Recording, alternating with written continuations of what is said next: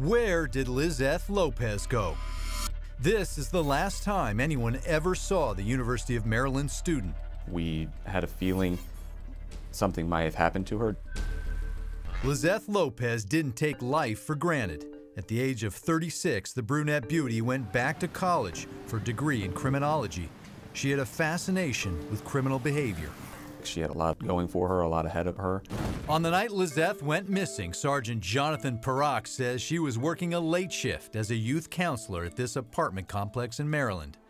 Then, around 9 p.m., she takes a routine break to run an errand. She goes to the CVS store, which is about about two miles away from where her work is. A security camera captures her entering and later leaving the drugstore. Each time she's alone. And that is the last time we have visual confirmation of her anywhere in the county.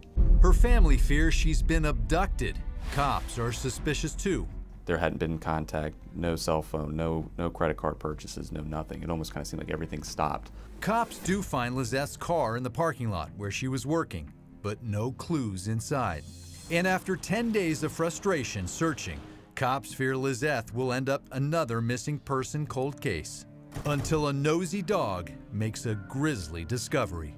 A neighbor that lived in that area, they couldn't figure out why the dog was barking, and that's when she was discovered. There it was. Neighbors could actually see Lizeth's naked body stuffed inside this drainage ditch. We went and looked out our back window and we could actually see her legs and her feet in the creek. Someone just threw her like trash off to the side of the road. Police say without a doubt she was murdered by a cold blooded killer. Where she was found is not a usual spot for anyone to routinely go. Cops are running out of clues. There's only probably two people that knew what happened, and one of them is Miss Lopez, who's deceased, and the other one is our suspect. Then, a possible break. Almost four months after Lizeth Lopez disappeared, another youth counselor vanishes. Erica Hickson worked together with Lizeth at the same nonprofit program. Tragically, Erica's family doesn't have to wait long for answers. The next day, police find her body in a wooded area.